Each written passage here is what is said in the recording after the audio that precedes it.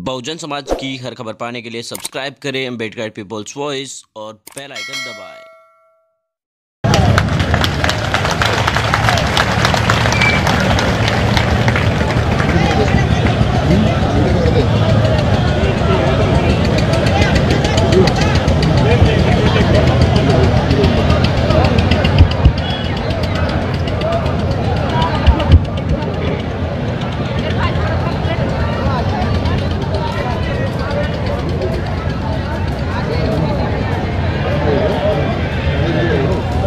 चुनावी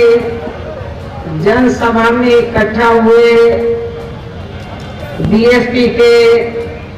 सभी छोटे बड़े पदाधिकारियों एवं कार्यकर्ता गण आज आप लोग यहाँ हरियाणा प्रदेश में विधानसभा के लिए हो रहे आम चुनाव में अपनी पार्टी के उम्मीदवारों के समर्थन में मुझे सुनने के लिए यहाँ इकट्ठा हुए हैं। तो इसके लिए मैं आप सभी लोगों का हार्दिक दिल से आभार प्रकट करती हूँ। और अब मैं इस चुनाव में सबसे पहले अपनी पार्टी के संबंध में ये कहना चाहूँगी। कि हमारी पार्टी, ये चुनाव,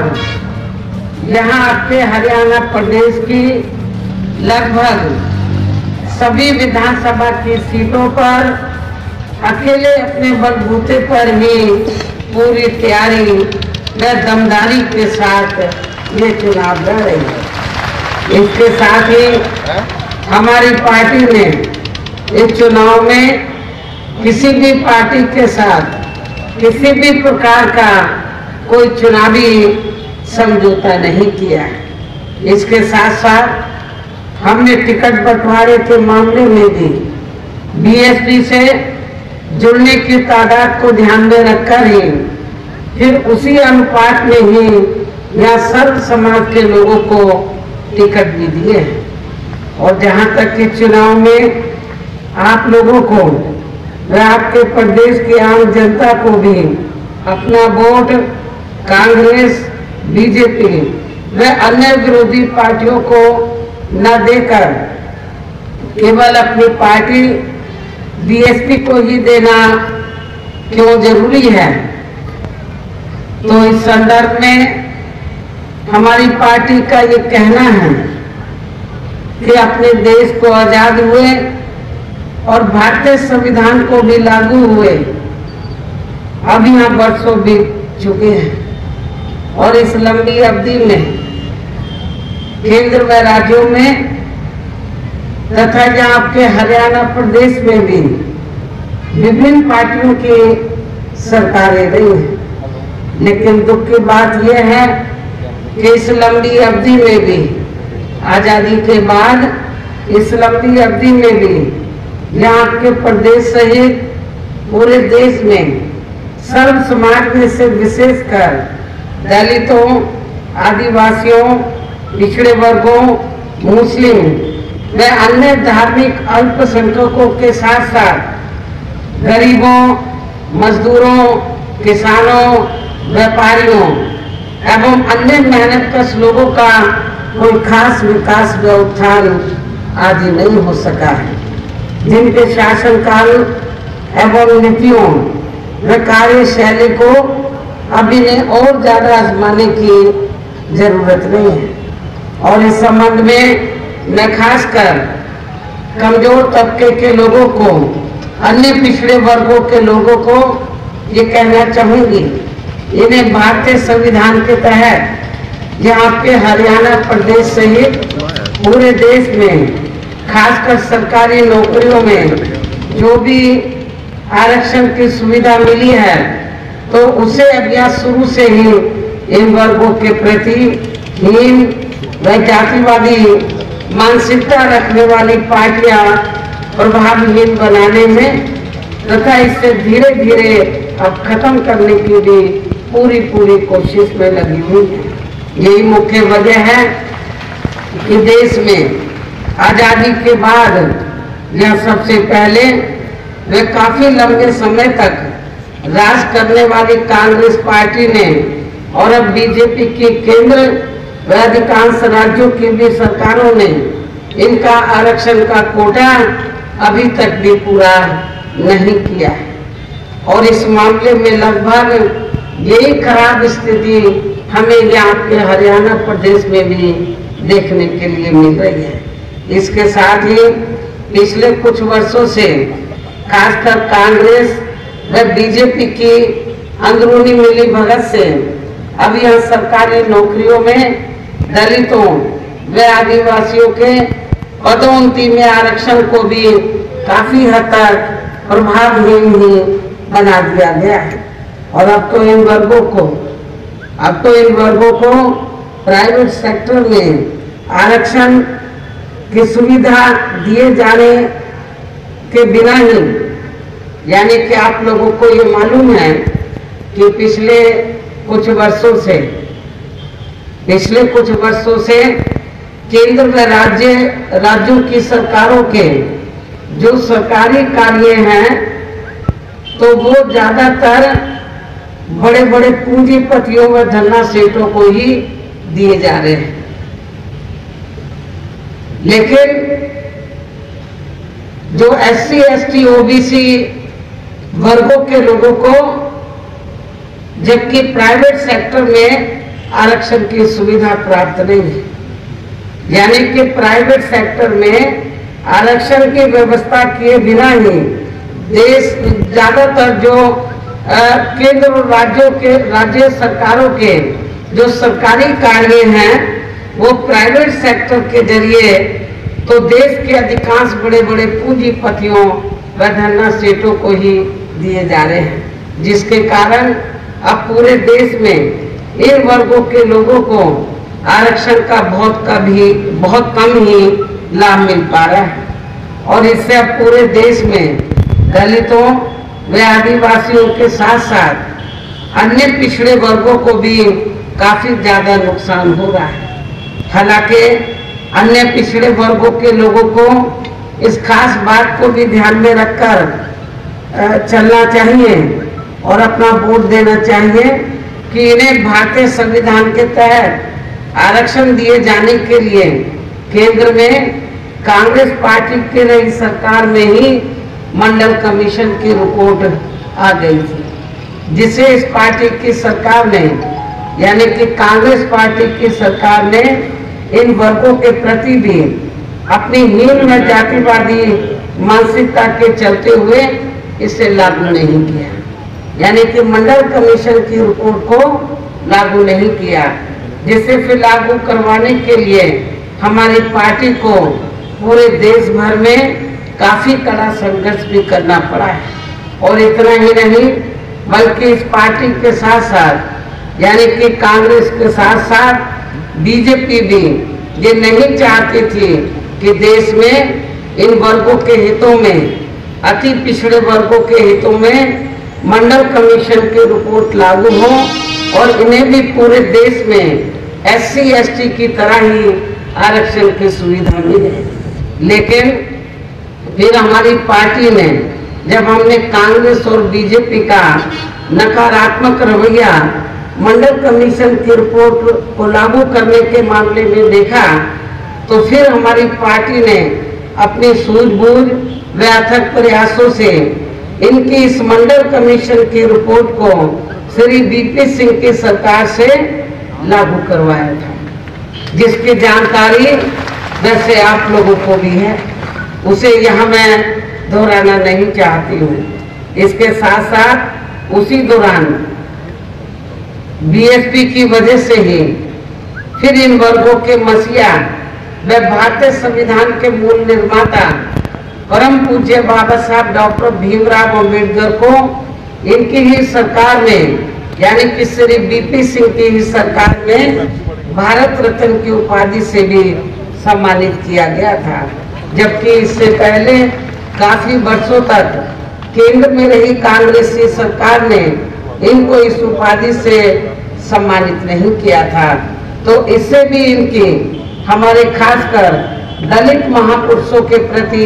हीन व जातिवादी मानसिकता साफ़ झलकती है।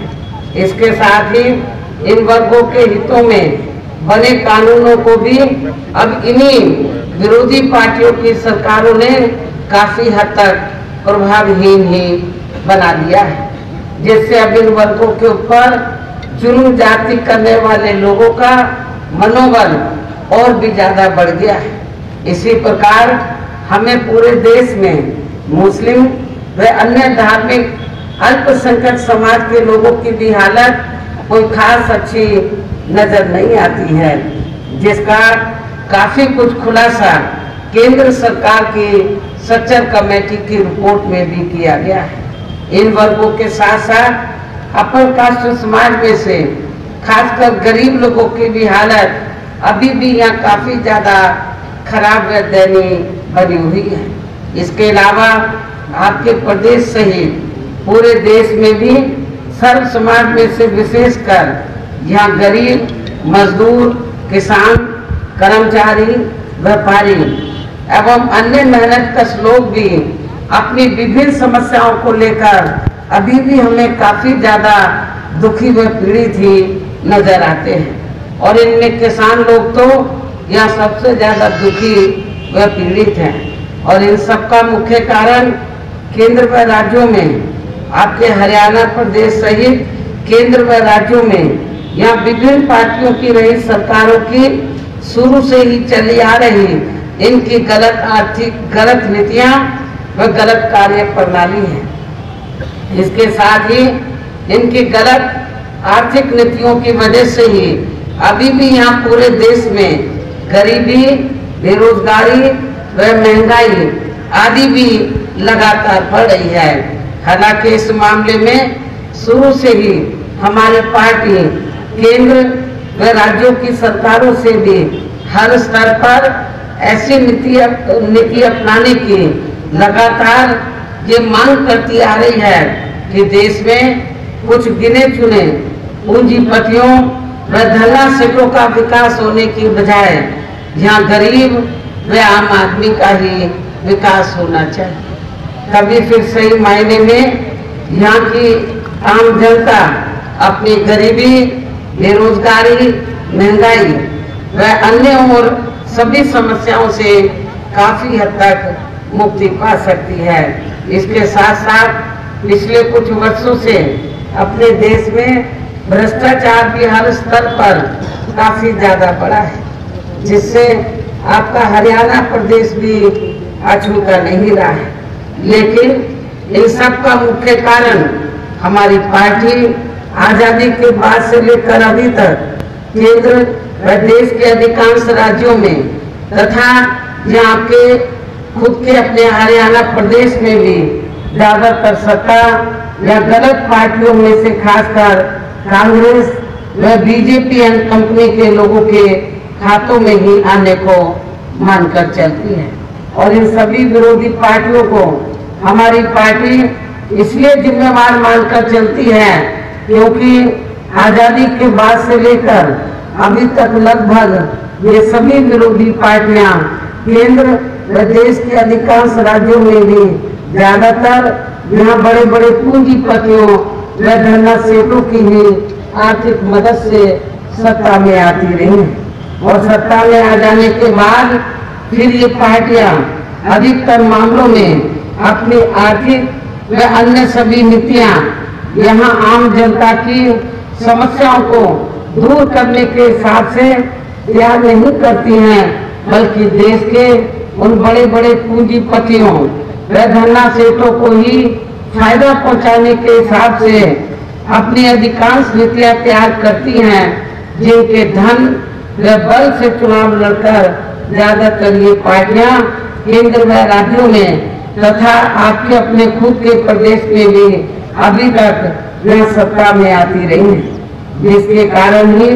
अब पूरे देश में व आपके खुद के अपने प्रदेश में भी अभी भी हमें यहाँ सब समाज के लोग अधिकांश मामलों में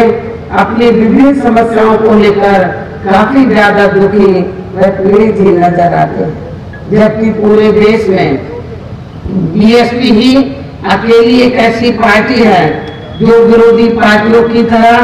देश के बड़े बड़े पूंजीपतियों व धन्ना सेठों की आर्थिक मदद से नहीं, बल्कि अपनी पार्टी के ही आम कार्यकर्ताओं की आर्थिक मदद से चुनाव लड़कर बिना केंद्र व राज्यों की सत्ता में आसीन होना चाहती है। ताकि हमारी पार्टी सत्ता में आने के बाद फिर बिना किसी दबाव के वे आज़ाद होकर सर्व समाज के लोगों की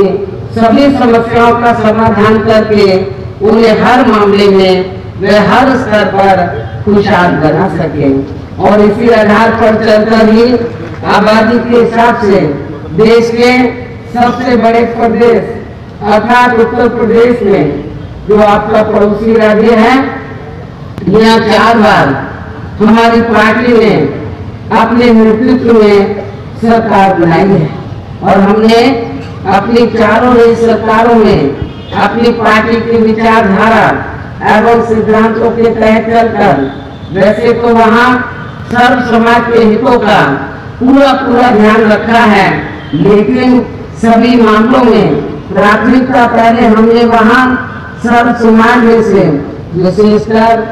उन दलितों, आदिवासियों, पिछड़े वर्गों, मुस्लिम, व अन्य धार्मिक अल्पसंख्यकों एवं गरीबों व उपेक्षित वर्गों के लोगों को दी है जिनकी वहाँ हर मामले में व हर स्तर पर सभी विरोधी पार्टियों की नई सरकारों में उनकी हीन, जातिवादी, संकीर्ण व पूंजीवादी सोच होने के कारण काफ़ी ज़्यादा उपेक्षा की गई इसके साथ ही हमने उत्तर प्रदेश में गरीब एवं बेरोजगार लोगों को मामूली सा बेरोजगारी भत्ता न देकर उन्हें बड़ी तादाद में सरकारी व गैर सरकारी क्षेत्रों में स्थायी रोज़गार भी उपलब्ध कराए हैं। इसके अलावा हमारी पार्टी की रही सरकार ने वहाँ विभिन्न क्षेत्रों में लगे लोगों के साथ साथ वहाँ छात्रों, युवाओं, महिलाओं, बुज़ुर्गों आदि के हितों में भी अनेकों महत्वपूर्ण एवं ऐतिहासिक कार्य किए हैं, जिनसे उन्हें काफ़ी ज़्यादा लाभ पहुँचा है। और इस मामले में हमारी सरकार ने खासकर वहाँ किसान गरीबों, मजदूरों व किसानों के हितों का विशेष ध्यान रखा है। इसके साथ ही हमने उत्तर प्रदेश में सर्व समाज के लोगों के ऊपर किसी भी प्रकार की कोई जुर्म जाति आदि भी नहीं होने दी है, बल्कि हमारी सरकार ने वहाँ जुर्म जाति करने वाले लोगों को बिना कोई देरी किए हुए उन्हें तुरंत ही जेल की सलाखों के अंदर भेजा है। जहाँ मेरी सरकार में उनकी सही व असली जगह होती है। और इतना ही नहीं, बल्कि हमारी नई सरकार ने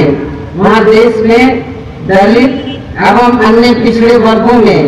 समय समय पर जन्मे अपने महान संतों, गुरुओं व महापुरुषों भी खासकर महात्मा ज्योतिराव फूले छत्रपति शाहू जी महाराज, श्री नारायण गुरु बाबा साहब डॉक्टर भीमराव अंबेडकर एवं मान्यवर श्री काशी राम जी आदि को भी विभिन्न रूपों में पहली बार वहाँ पूरा पूरा आदर सम्मान दिया है। ये सब आप लोगों से छिपा नहीं है। लेकिन इस आदर सम्मान को विरोधी पार्टियों के लोग अभी तक भी आसानी से पचा नहीं पा रहे और अब संक्षेप में, मेरा यही कहना है कि उत्तर प्रदेश में, हमारी पार्टी ने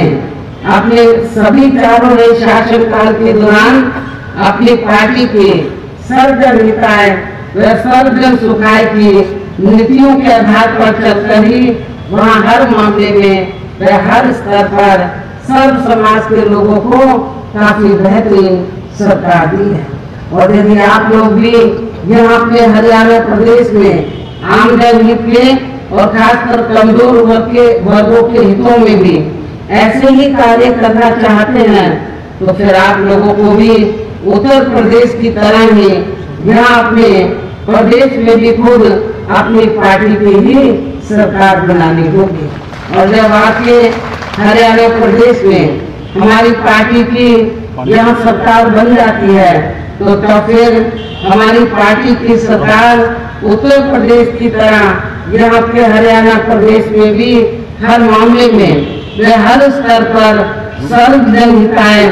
सर्व जन सुखाय की नीतियों के आधार पर चलकर ही सरकार चलाएगी। इसके साथ ही आपके प्रदेश की व आम जन से जुड़ी, जो भी यहाँ स्थानीय समस्याएँ होंगी तो फिर उन्हें भी दूर करने का हर संभव पूरा पूरा प्रयास किया जाएगा। किंतु इन सब कार्यों को करने के लिए अब आप लोगों को यहाँ अपनी खुद की सरकार बनाना बहुत ज़रूरी है। और इसके लिए अब आप लोगों को इस चुनाव में वोट पड़ने तक यहाँ सभी विरोधी पार्टियों के साम दाम दंड भेद आदि हथकंडों से ज़रूर सावधान रहना है। और खासकर इनके चुनावी घोषणा पत्रों से। जो प्रलोभन भरे चुनावी घोषणा पत्र हैं, उनसे ज़रूर सावधान रहना है। आप लोगों को ये मालूम है चाहे पार्लियामेंट का चुनाव हो या असेंबली का। तो सभी विरोधी पार्टियाँ, खासकर कांग्रेस और बीजेपी और यहाँ की जो स्थानीय पार्टियाँ हैं तो चुनाव में जब अपना घोषणा पत्र जारी करती हैं तो प्रलोभन भरी बातें आप लोगों के सामने वो रखते हैं। आश्वासन देते हैं किस्म किस्म के प्रलोभन भरे वायदे करते हैं, आश्वासन आप लोगों को देते हैं। लेकिन जब चुनाव खत्म हो जाता है तो फिर इनके चुनावी घोषणा पत्र आपको कोई नज़र नहीं आते हैं। आप लोगों को ये मालूम है कि अभी बीजेपी के बीजेपी ने अपने चुनावी घोषणा पत्र में तो उन्होंने यहाँ पर जो बेरोजगार लोग हैं, उनको रोज़गार देने की बात कही है। संख्या भी बताई है। लेकिन उनको ये तो बता देना चाहिए सही मायने में कि पिछले पाँच साल के अंदर यहाँ पर तो बीजेपी की सरकार ने कितने लोगों को रोज़गार दिए। हैं आप लोग इधर बड़ी तादाद में बैठे हैं, मैं आप लोगों से पूछना चाहती हूँ कि आप में से कितने लोगों को इस सरकार में रोज़गार मिले? मुझे नहीं लगता आप लोगों को रोज़गार मिले। बातें तो बहुत करते हैं कि हम बीमार लोगों को तो फ्री ट्रीटमेंट देंगे सरकारी सहायता से। क्या आप लोगों को मिल रहा है? आप लोगों को कहते हैं कि हम गरीब लोगों को मकान बनाकर देंगे। कितने लोगों को मकान मिले हैं, मैं समझती किसी को भी नहीं मिले इसलिए मेरा आप लोगों से यही कहना है कि आप लोगों को इनके प्रलोभन भरे चुनावी घोषणा पत्र के बहकावे में नहीं आना है। और इनके जो वायदे हैं प्रलोभन भरे और जो आश्वासन देते हैं चुनाव में, समझो आज तक भी इन्होंने उसे पूरा नहीं किया है। और इनसे आप लोगों को अब ज़्यादा नींद नहीं करनी चाहिए। इसलिए मेरा आप लोगों से यही कहना है कि आप लोगों को, इन पार्टियों को अब और ज़्यादा आजमाने की ज़रूरत नहीं है। आपको बीएसपी को मौका देना चाहिए। और बीएसपी की नीतियों और कार्यशैली के बारे में आप लोगों को ये मालूम है कि बीएसपी कहने में कम और कार्य करके दिखाने में ज़्यादा विश्वास रखती है। इसलिए हम लोग चुनाव में अपनी पार्टी का कोई भी चुनावी घोषणा पत्र आदि जारी नहीं करते। और उत्तर प्रदेश में हमने बिना इसके ही वहाँ सरकार बनाकर तो ऐतिहासिक कार्य किए इसलिए मेरा आप लोगों से यही कहना है कि आप लोगों को बीएसपी के उम्मीदवारों को कामयाब बनाकर तो यहाँ पर परिवर्तन लाना चाहिए और अपनी पार्टी की सरकार आप लोगों को बनानी चाहिए। हमारी पार्टी के उम्मीदवार यहाँ मंच पर मौजूद हैं। तो मेरी आप लोगों से पुरजोर अपील है कि बीएसपी के, चाहे वो पानीपत ग्रामीण के उम्मीदवार हैं या आसपास की जो विधानसभा की सीटें हैं, उनके उम्मीदवार इधर आए हैं। मेरे आप लोगों से पुरजोर अपील है कि आप लोगों को बीएसपी के, इन सभी उम्मीदवारों को बीएसपी का जो चुनाव चिन्ह हाथी है हाथी चुनाव चिन्ह के सामने वाले बटन को दबाकर आप लोग इनको भारी वोटों के अंतर से ज़रूर जिताएँ। और अपनी सरकार बनाने का पूरा पूरा प्रयास करें। इस पुरजोर अपील के साथ ही अब मैं अपनी बात यही समाप्त करती हूँ। जय हिंद, जय भारत।